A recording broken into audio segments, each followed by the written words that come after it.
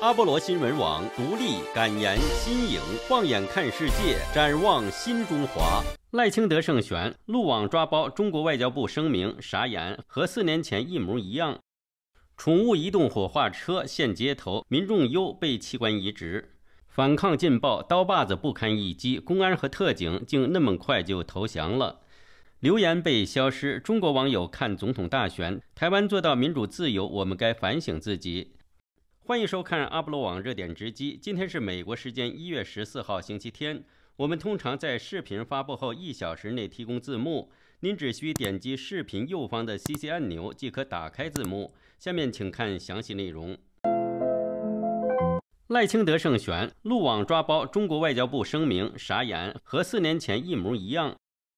中华民国第十六届总统、副总统选举投票结果出炉，民进党正副总统候选人赖清德与萧美琴将于今年五月二十号蔡英文卸任后，成为中华民国第十六任总统、副总统。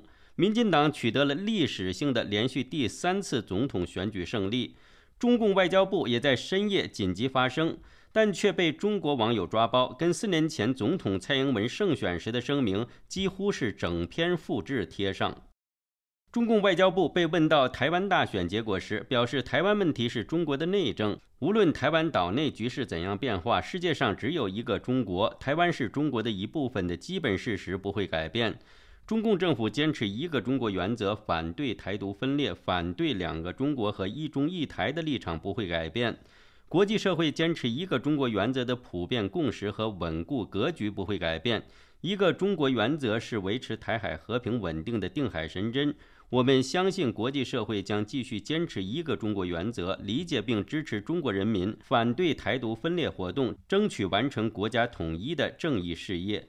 声明一出就被中国网友抓包，表示该文与中共外交部2020年1月蔡英文胜选时所回应的内容几乎是整篇复制贴上，就连标点符号的位置都一模一样，也惨遭中国网友吐槽：四年后可以再复制一样的文案。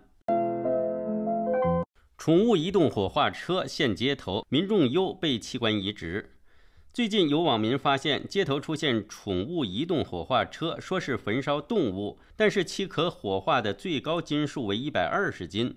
宠物移动火化车全车长五点三米，宽度两米，高度二点四七米，总重量三点五一吨，单次最高可以焚化一百二十斤宠物。标榜燃烧过程无烟、无排火、无味道，并且拥有合法无害化处理资质，充分燃烧无任何杂物，平均每天可以连续火化三十只宠物。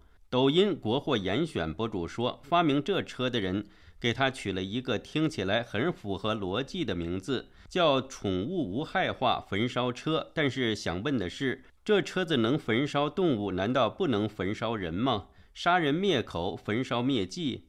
有网民担心说：“这不会是取完零件后的善后武器吧？”抖音博主慧心姐姐说：“如果这样流动的焚化车上路的话，人民的安全真是岌岌可危。大家想想，是不是细思极恐？这脑瓜嗡嗡的，出门的时候后脑勺得长四只眼睛。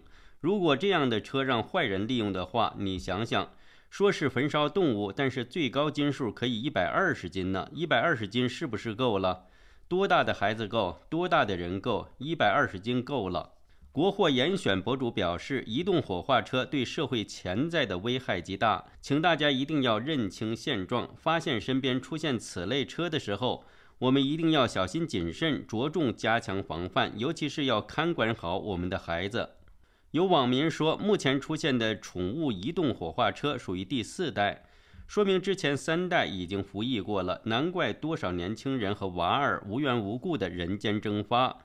估计与之配套的还有器官移植手术车，请大家以后上路小心点。上个月，中共国务院二零二三年十二月十四号公布的《人体器官捐献和移植条例》，将于二零二四年五月一号实施。此前，中共曾于二零二三年十月二十八号在武汉举行人体器官取得组织大会，但中共官媒并没有相关报道。长期以来，中共拒不公布中国器官移植详细数据，使得器官移植成为黑色地带。反抗劲爆，刀把子不堪一击，公安和特警竟那么快就投降了。作者袁斌在大纪元发文，看了媒体的报道和网上的消息。我对贵州苗民集体抗暴事件有三个没想到：第一是没想到当地政府会为了几万元公墓费用如此兴师动众。这次事件的起因是当地苗族村落一位老人去世后，家人因无力承担数万元人民币的公墓费用，将火化后的骨灰带回村里，打算就地安葬。但是当地村官为了财政收入，强行规定。必须在指定的公墓埋葬死者。于是，官方在一月九号凌晨派出数百人的队伍，包括公安、交警、特警和其他部门的公务员，开着多辆警车和公务车，携带盾牌、钢叉等防爆器械，到村中抢夺老人的骨灰，并对不服从的村民们大打出手。袁斌指出，当地政府竟摆出这么大阵势，只有一种解释，那就是当地政府财政太缺钱了。区区几万元，他们也不愿放弃，必拿到手里才安心。第二是没想到苗民的反抗这么劲爆，这次特警们的暴行激发了全体村民的怒火，他们连夜行动起来，用石头、砖头、棍棒等一起围攻特警队。最后，这些公安和特警只好全体缴械，束手就擒，成了村民们的俘虏。第三是没想到公安和特警竟然那么快就投降了。其中一名被活捉的年轻公安蹲在路边，双手合掌，做着求饶的手势。被释放的俘虏们一批接着一批的步行离开，有些身穿印有“安龙公安”的背心，总数有数百人之多。许多村民站在路边大骂他们是土匪、走狗。袁斌认为，如今政府的钱袋子都瘪了，公安和特警也在遭遇降薪。这种情况下，愿意为共产党卖命的人自然越来越少。尤其是在遭遇民众的激烈反抗时，谁不把保命放在第一位呢？时评家严春沟先生曾分析过，中共维稳力量集中在城市，乡村是薄弱环节，农民人多势众。村官势孤力单，上级政府鞭长莫及，乡村维稳事成空言。乡村火药桶一一引爆，中共政权的瓦解将从农村开始。那时中南海鞭长莫及，心不能使臂，臂不能使指，就是中国人改变命运的时候。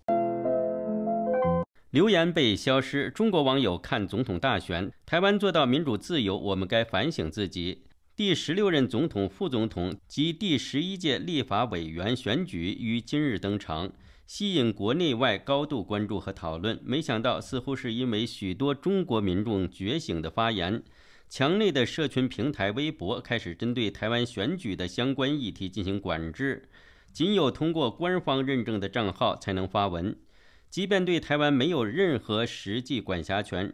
中共当局仍频繁对我国的选举指手画脚，甚至大言不惭地要求美方不得介入台湾大选，但自己却是动作频频，像是公开呼吁支持特定候选人，还是招待台湾地方人士旅游等。对于今日举行的总统大选，有中国网友仿佛觉醒一般，留言表示：“别只关注统一，关注下选举。台湾是中华文明之光。”同根同源的中国人做到了民主自由，反而我们该反省一下自己。许多中国网友也纷纷表示认同。然而，该留言随即被消失，甚至整个文章都开启了精选评论。也许就是如此，墙内的微博开始针对台湾选举的贴文和讨论进行管制。目前清一色只有官方认证的账号才能发文。我们每天在副频道发表一个视频新闻。